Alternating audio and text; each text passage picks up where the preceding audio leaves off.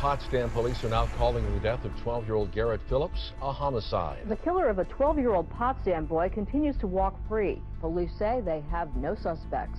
By the time 12 year old Garrett Phillips is buried in the family plot, his RipStik skateboard by his side, the people of Potsdam, New York are up in arms.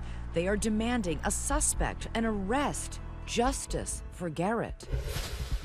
Very quickly, too quickly, some will later say, police zero in on a suspect. Dan, what's up? Marky. The morning after Garrett's death, lead investigator Lieutenant Mark Murray speaks with the DA's office. We got some strong feelings about certain people, or one person. There's one person in particular that we want to talk to. Did police ask you who would want to harm your son? Yes. I kind of was like, you know, everybody liked Garrett, and you know, no one ever had a problem with Garrett. And then it's like, oh, there was one person that had an issue with Garrett. Just one. Just one. Who was it? Nick. Nick Hillary. Yes. Tandy had ended her relationship with Nick Hillary just a month before her son was murdered. First of all, who, whose idea was the breakup? Um, I mean, the idea was both of ours. I mean, I, I, I She says she was the one who broke up. Um, I, I think it was the two of we, we made a, a decision. He made a lot of attempts to get me to change my mind.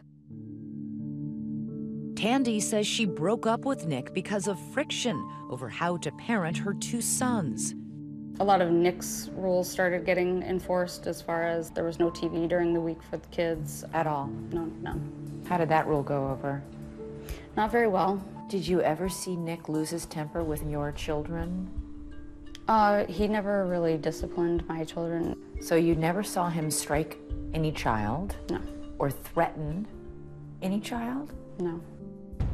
But Tandy says Garrett eventually didn't want to be around Nick, so she decided to move out. I told him that my kids weren't happy and I wasn't going to stay in a relationship where my kids were miserable. What was his reaction?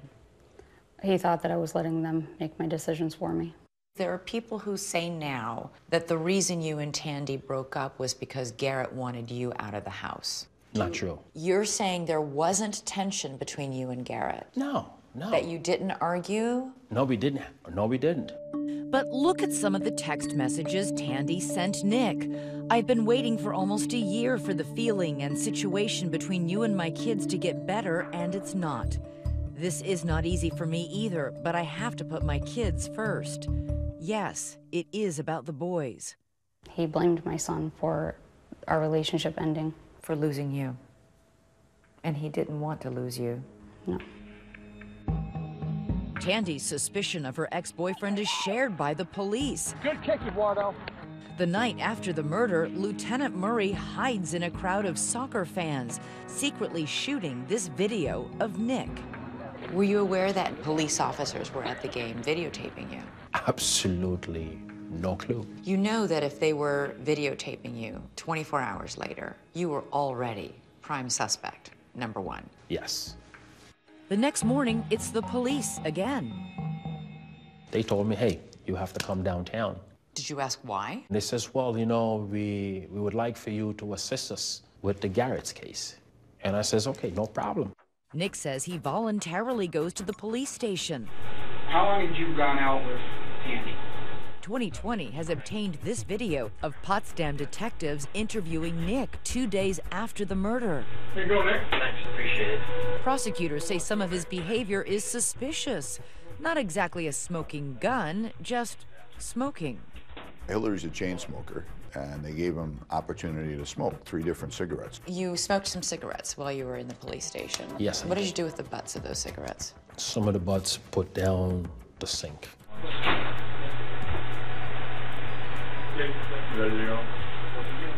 He doesn't want them to get his DNA. You sure that's what he was doing? Maybe he's just really neat or something. Maybe I he's don't just know. a neat freak. Elizabeth, whatever you say. but pretty obvious to me what he was doing. Nick says he doesn't realize anything is wrong for about an hour until he tries to leave. Could you show me outside, please? Do you, sit. At that point in time, they barred the door, They physically blocked it? physically stood in the doorway and told me, look, you are not going anywhere. All right, you're, you're going to be held on here for a minute anyways. I was read my Miranda rights, and that's when I know. Nick says police held him against his will all day long. Armed with a search warrant from a judge, they take his pants, his sweatshirt, and he says, in a final humiliation, even his underwear. They pretty much stripped me naked as the day I was born. They took all of your clothes? Everything was taken. All I left there with was in an hazmat suit. A hazmat suit? A hazmat suit. That's what I was released from the station. Nick is released, not arrested, and for good reason. Actually, two good reasons. Two alibi witnesses. At the time of the killing, his then 15 year old daughter, Shauna, says he was home with her. And right after, assistant coach Ian Fairley says Nick stopped by his place. How did he look to you? He looked like he was always did, kind of athletic clothes, getting ready for practice. Normal. Yeah. Not sweaty, not disheveled. No, yeah, I mean, absolutely not. Was he limping? Nope. State and local police scour the crime scene for three days.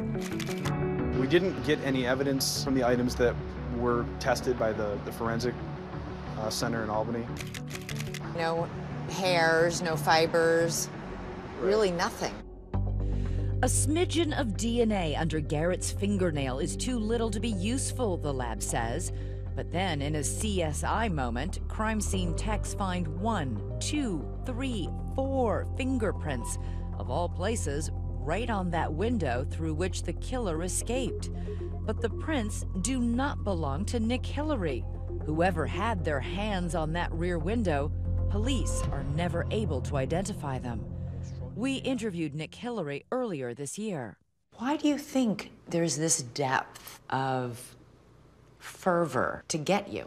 Because I think I have crossed the line of being a black man. Honestly. You think it's all about race? It is.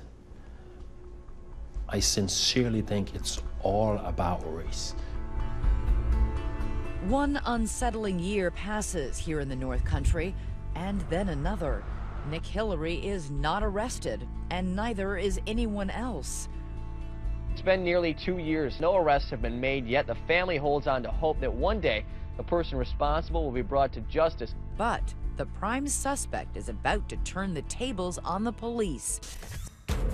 Still ahead, Nick Hillary's payback. And then a Hollywood producer enters the picture.